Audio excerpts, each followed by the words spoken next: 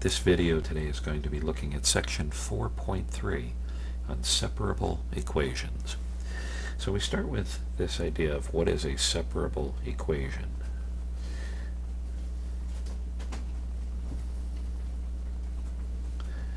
Of course, what we mean by separable equation is a separable differential equation, and the definition will go like this.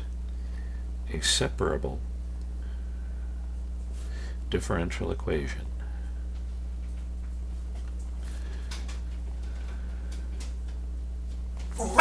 is any equation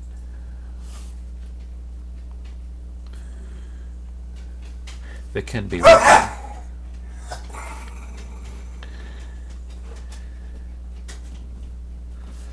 as the following. The derivative of y with respect to x can be actually separated into two functions, a function of x times a function of y.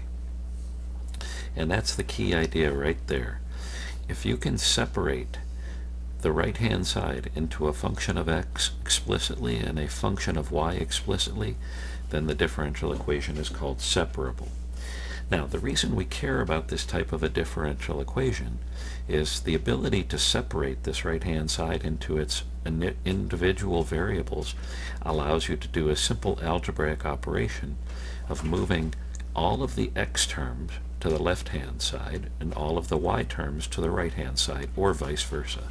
For example, if I wanted to move this g of y to the right-hand side, I would simply divide both sides by g of y. And if I wanted to move this dx to the right-hand side, I would simply multiply both sides of the equation by dx.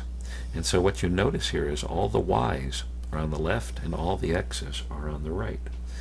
And because of this, because of this separation that we are able to do in a separable differential equation, now we can simply say if I integrate the left side and I integrate the right side, these will hold true. This equation will hold true. Now, if you could not separate the variables, if I had x's and y's here, writing this integral here wouldn't do you any good. You wouldn't be able to integrate it.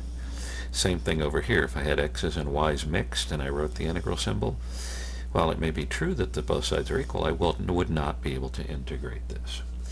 Now, let's take a look at some examples from the exercises. Let's start with problem number 120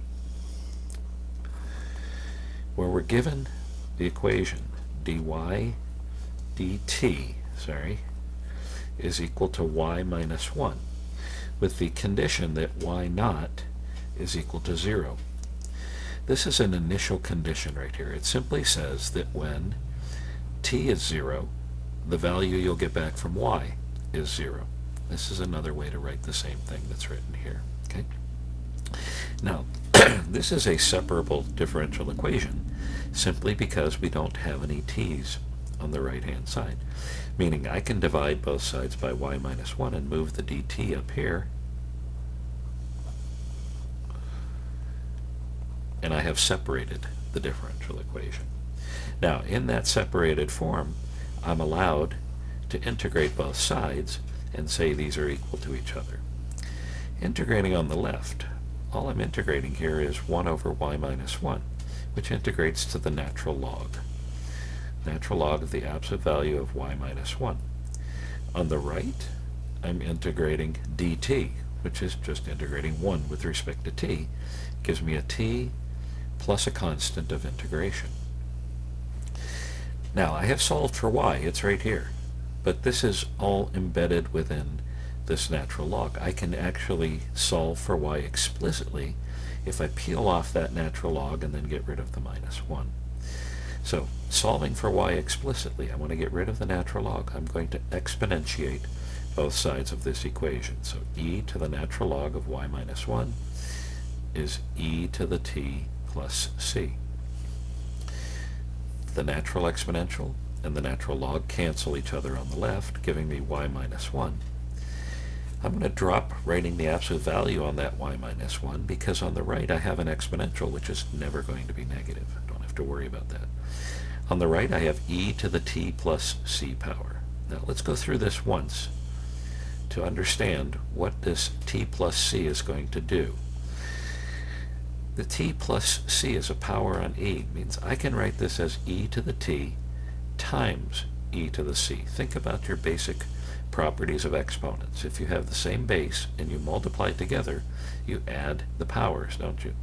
So this e to the t plus c is the same as e to the t times e to the c. Now e is a constant and c is an arbitrary constant. That means e raised to the c power is an arbitrary constant. We'll call it capital C. And therefore I can write that capital C in front times e to the t. y minus 1 is this constant times e to the t. If I add 1 to both sides, I have solved explicitly for y. Now let's not forget that we have this initial condition here to apply, that when t is 0, y is going to come back to be 0. So we plug in 0 for t. e to the 0 is 1. 1 times c is c. 1 plus c is y, where the y value has to be the 0, right? So on the left-hand side, your y is 0 when t is 0. 0 is 1 plus c means that the c value is negative 1. And therefore the solution to this particular problem, meaning this differential equation with the initial condition, is y is 1 minus 1 e to the t.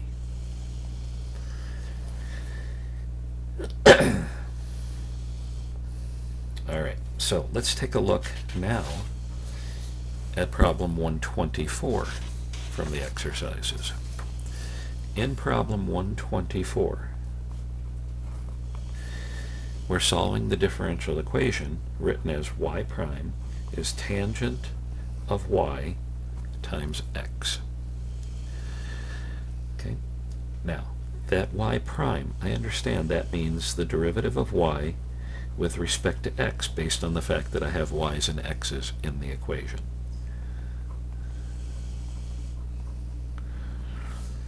Separating the variables, this dx is going to come up here, okay, joining this x, and this tangent of y is going to go down into the denominator on the left.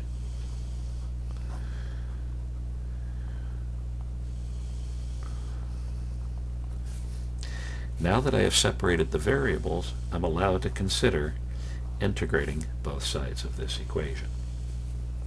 Now, I have a tangent in the denominator. That looks a little bit daunting until you realize very simply, tangent is sine over cosine. So if you're dividing by a sine over a cosine, flip the sine and the cosine and write it as a cosine over a sine.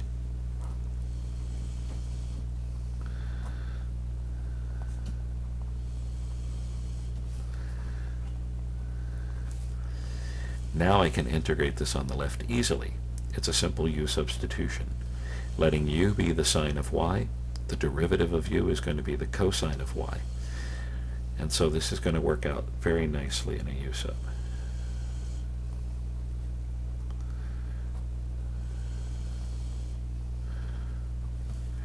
dy is 1 over cos y du, and doing the substitutions,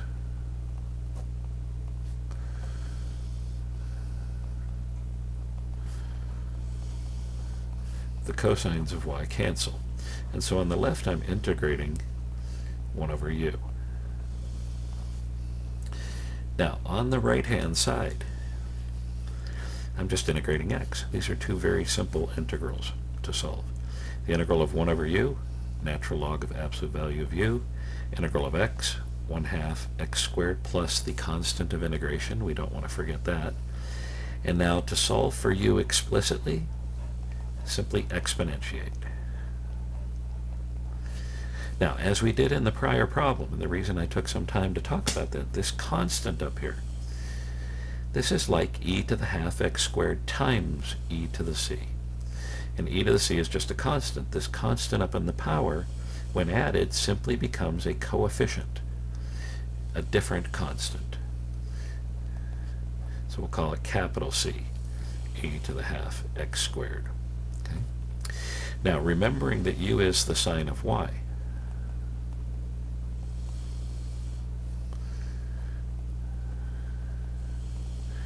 have this.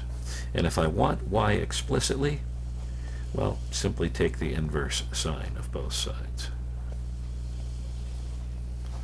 And there you go. You have solved the differential equation. Oops, there we go. Now you can see it down here. We took the inverse sine of both sides of the equation just to write y explicitly in this form. Okay. All right, let's take a look at another example. This time we're going to look at problem number 128.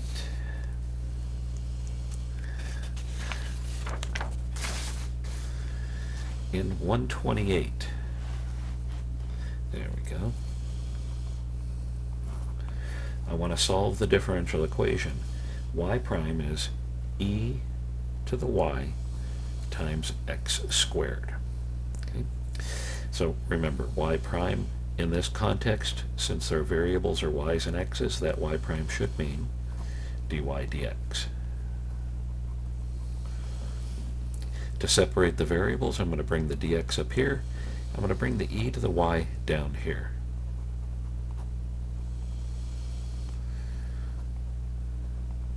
And there we've separated the variables. So now I can say let's integrate both sides of the equation. Well, this e to the y in the denominator is easy to handle if you just think of it as e to the negative y up in the numerator. Integrating e to the negative y, I get negative e to the negative y. And integrating x squared, I get 1 third x cubed plus that constant of integration.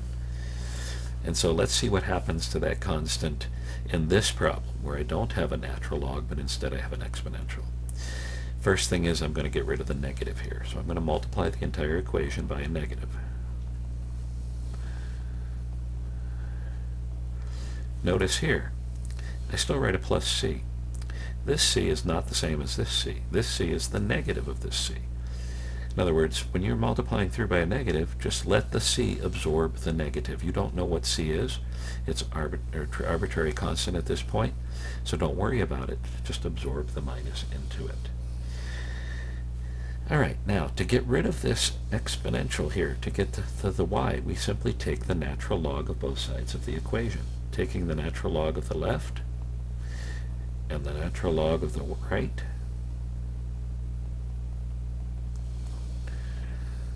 I get this.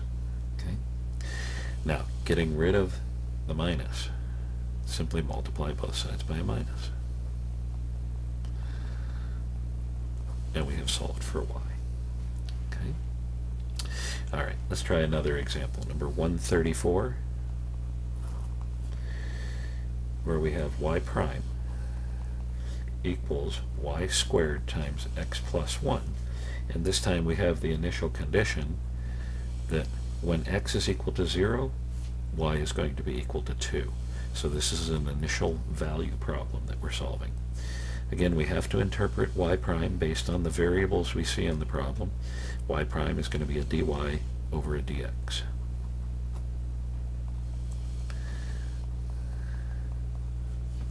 Separating the variables, that y squared is going to come down. The dx is going to come up here. And I'm going to integrate both sides. Now here, this y squared in the denominator, simply think of it as y to the negative 2. And so when I integrate that y to the negative 2, I get negative y to the negative 1.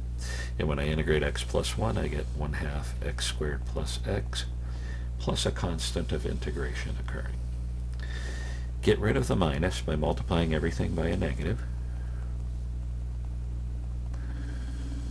Again, this constant, when multiplied by a negative, you don't have to bother changing the constant if you don't want to. It's an arbitrary constant. It can be negative.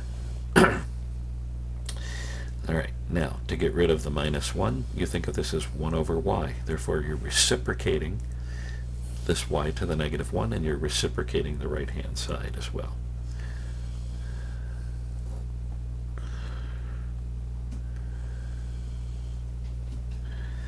Finally, apply the initial condition here, that when x is 0, y is equal to 2. y is equal to 2 when the x's are 0. This is 0, this is 0, you just lift the c. 1 over c is 2, so c is a half, and therefore your particular solution to this problem is y is this reciprocal form minus x plus the constant, which is a half. And there's your final answer to this problem. Okay. All right, let's try problem number 142 next.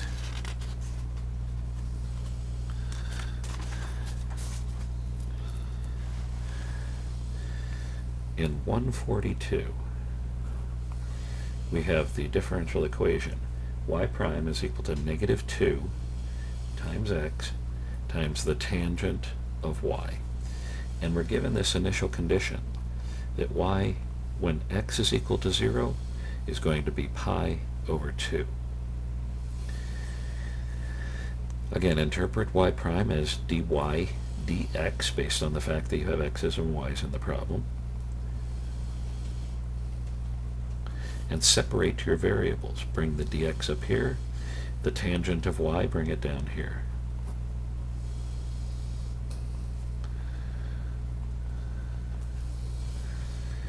This tangent is sine over cosine. So when I have to integrate this, I'm going to think of that sine over cosine flipped and brought up to the numerator as cosine over sine.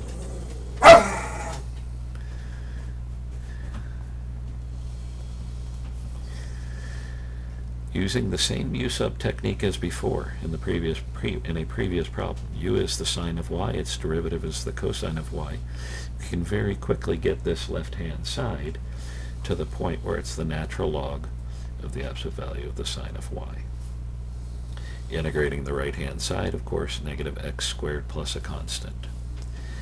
Now recall, when you're getting rid of a natural log, you exponentiate.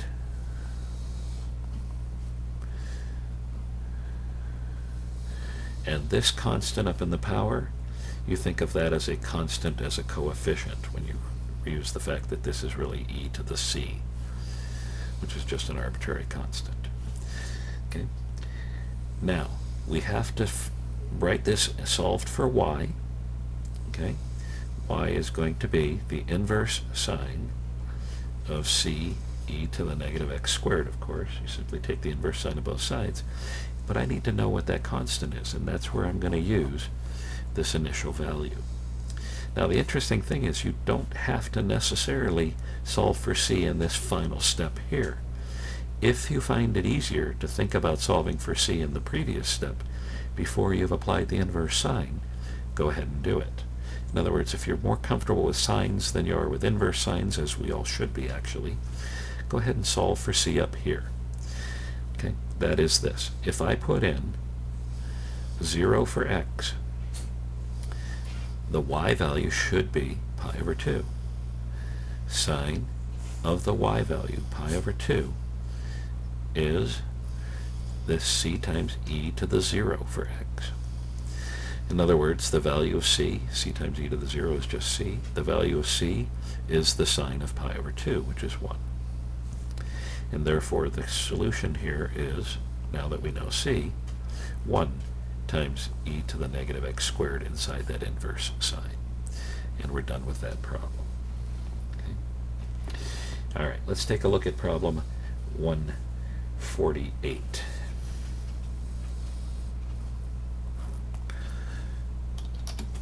This is a uh, word problem.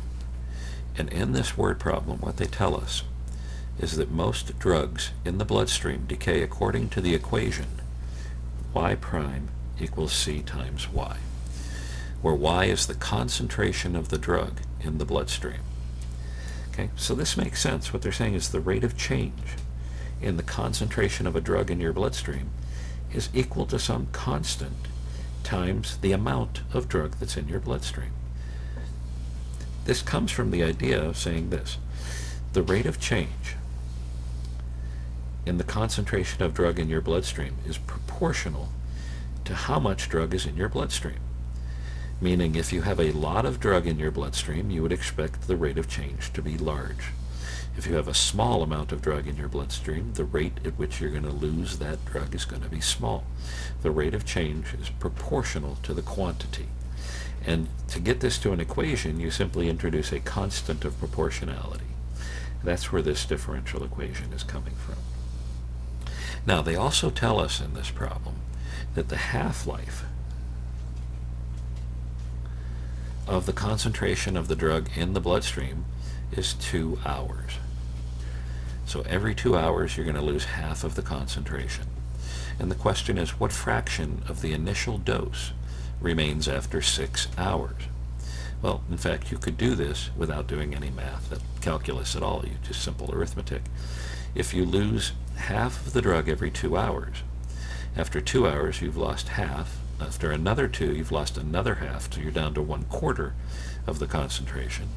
And after another two hours, for a total of six hours, you've lost another half. A Half of that quarter is one-eighth. The concentration will be one-eighth. But let's see how we go through the mathematics of doing this, just in case they ask you something like, what's the initial dose remaining after 23.2 hours? Right? Where it doesn't work out nicely that the number of hours they ask you about is a multiple of the half-life. Well, that means we have to solve this differential equation. And so we consider this differential equation, eh, the dependent variable y, and then the independent variable, which is not named in the problem, but we understand we're talking about time here. So let's just go ahead and use the letter t.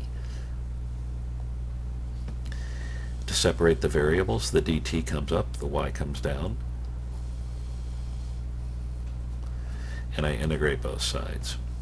On the left, integrating dy over y gives me the natural log of the absolute value of y, and integrating this constant is just a constant times t plus another constant of integration. Okay. Now, solving for y here, I exponentiate. e to the d power is just going to be a constant. Call it capital D. So this is your model for the concentration of the drug in your bloodstream after t hours. It's some constant times e to the ct. Now, let's use that half-life to figure out what this c is up here. The half-life is two hours. That means that if I start with a quantity of d, after two hours I'll have one half of d left. Cancel the d's. Solve this equation for c by taking the natural log of both sides and then dividing by 2. There's your value c, which of course can be written by the power properties of logarithms. This half can come up as a power as natural log of a half to the half. All right, now plugging that back in up here to this form, we get y is equal to this unknown constant d, e to the c, which is the natural log of a half to a half, times t. So t times natural log of a half to a half. Again, using the same property of logs that we did over here, that the coefficient can come up as a power, this t can come up as a power.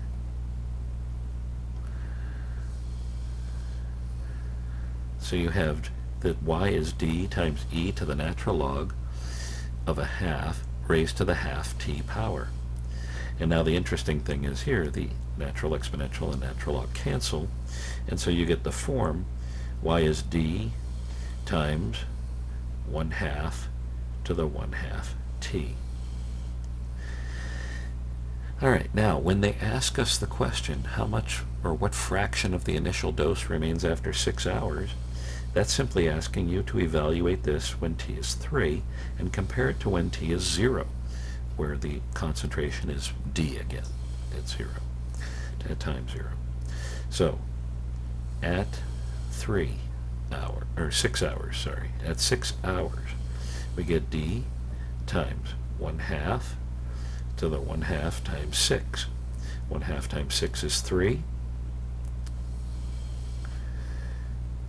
One half to the third power is one eighth.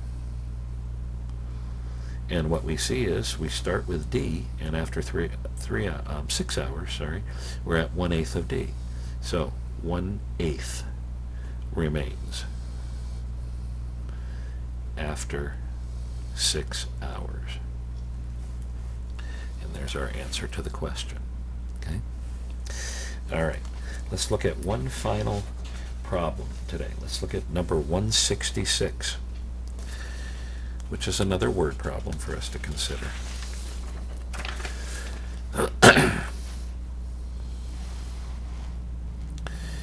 In 166, they tell us that leaves accumulate on the forest floor at a rate of 2 grams per square centimeter per year and also decompose at a rate of 90% per year. Okay? So the leaves are falling off the tree at a rate of 2 grams per centimeter squared of floor per year, but 90% of those leaves are also decomposing. Write a differential equation governing the number of grams of leaf litter per square centimeter of forest floor, assuming at time zero there's no leaf litter on the ground. Does this amount approach a steady value, and if so, what is that steady value? In other words, as the leaves fall and as the leaves decompose, is there going to be a point where you just reach this perfect balance between the two? And eventually, it's not the quantity is not changing. The decay, the quantity decaying, and the quantity dropping balance each other out every year eventually. Is that what happens? Well, let's find out. Now, to write the differential equation, we're going to let y be what we are measuring in this, which is the, um, the number of grams of leaf litter per square centimeter on the floor. Okay, on the forest floor. Okay, and so our differential equation here is how does that change? The rate of change per year they tell us we are accumulating 2 grams every year, but we're also losing 90%, 0.9 or 90% of however much we have. And there's how we write the differential equation. And the initial condition is that at time zero, when we're starting this process, there is no leaf litter on the ground. Okay? So this is the initial value problem for us to solve. Now, as we separate the variables, this 2 minus 0.9y will come over to the denominator. And the dt will come up to the right-hand side. Okay? Now I can integrate both sides. And again, this is a simple linear expression in the denominator here. This is going to become a natural log when I integrate it. The, we can write the u substitution out if you want to see it.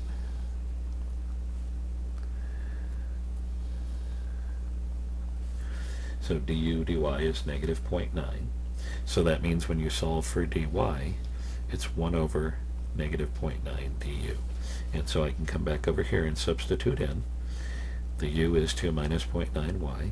The dy is 1 over negative 0.9 du. And so when I integrate this, I get 1 over negative 0.9 as a coefficient in front, the natural log of the absolute value of u, and on the right, I integrate it to get t plus c. Now, to solve this for u, the first thing I want to do is get rid of this 1 over negative 0.9 on both sides. All right? So, I am going to have to multiply both sides by a negative 0.9.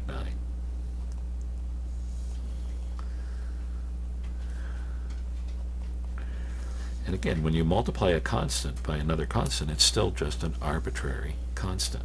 So I don't have to rewrite the c. Just consider that's a different c at this point. Okay? Now, to solve for u, I exponentiate.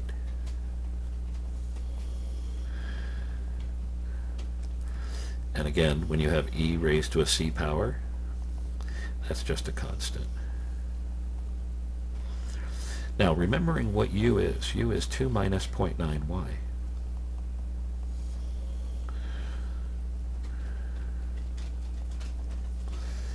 I can now solve this for y.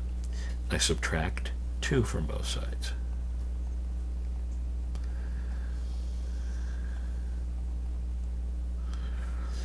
I then get rid of the negative 0.9 by multiplying both sides by 1 over negative 0.9. So that's negative 2 divided by a negative 0.9. This constant, when divided by a negative 0.9, is just another constant.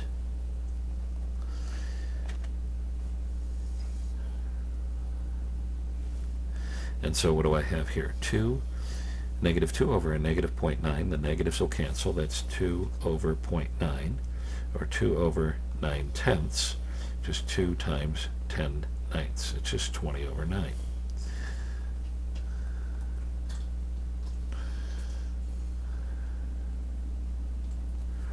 Now, applying the initial condition. Recall this initial condition. At time 0, the amount of leaf clutter is 0 grams per square centimeter on the floor, meaning y is 0.